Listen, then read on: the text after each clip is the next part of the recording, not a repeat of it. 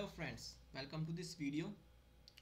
So in this video we are going to build a password cracking tool for SSH basically a dictionary attack against SSH with the help of Paramiko module in Python. So in this video we are going to use our previous program that we uh, previous program Paramiko SSH it's a simple pro, uh, program for creating SSH client for a specific host for which we uh, know the username and password. And with the help of this we are going to uh, create an application to get the correct username and password. It's a basically a brute force attack. In the search. We're just going to have a file. These are username password file. Uh, so it has some of the com combinations. The first one is the username then is then a password. So these are separated by colon. And each line have only one username and password.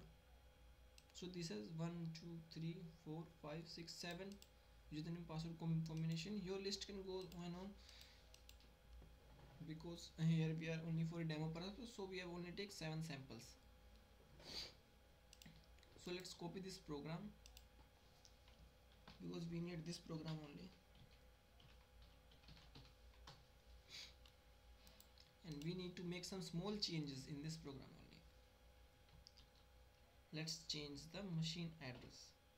Because now my machine has different address. 43.173 let's check it once again. 192.168.43.173 so let's do one thing. Let's uh, enter an incorrect username so that we get an exception and with the help of that exception we are going to build our uh, script. So let's run sshh deck.py so it's going to give an exception condition. So it has given an exception authentication failure condition. And the exception is paramiko dot ssh ex, uh, paramiko.ssh underscore exception dot authentication exception. So let's go into our file. So first we need the file the password file the username password file. So let's first we import the sys module and then we open the file.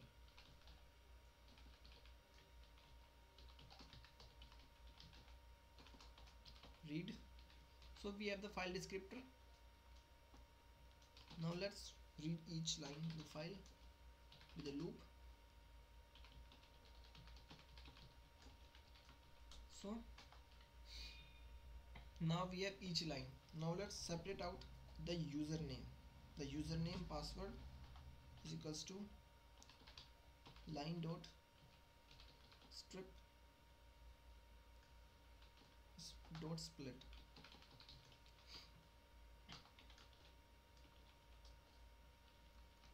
so let's separate out the username and password.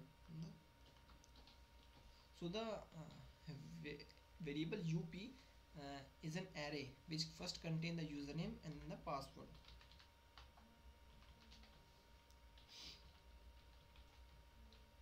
So now we have the username and pa password. Now here we are going to use the exception condition. Let's try it against this host and the username is going to be user. And password is going to be PASSWD now if an exception occurs exception s let's copy this exception condition. And if this exception occurs this means that uh, we entered the wrong username and password it should be except not exception. Print. Incorrect username. That's capital the u of the username. Percentile s and password. Percentile s. Let's print these two variables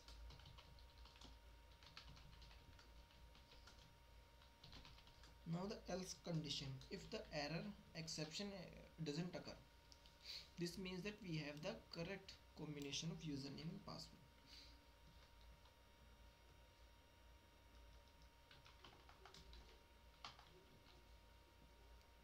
So if we got the correct username password combination let's run a simple command on it which is cat and view the passwd file. Now let's run that now we have got the correct username password combination so we need not to try the rest. So we will break the loop here. So this is simple script uh, of 29 lines. As you can see you can see 30 line nearly 30 line of code. And with the help of this code you going to break an SSH username and password. Break an SSH authentication. So now let's check if there's any error in it? I don't think so. There's any error. Let's run it. SSH checked. SSH here passes the file. So you can see it has a syntax error here. Except so now we haven't got any error. So you can see our script is working and it is uh, giving us the incorrect username and password combination.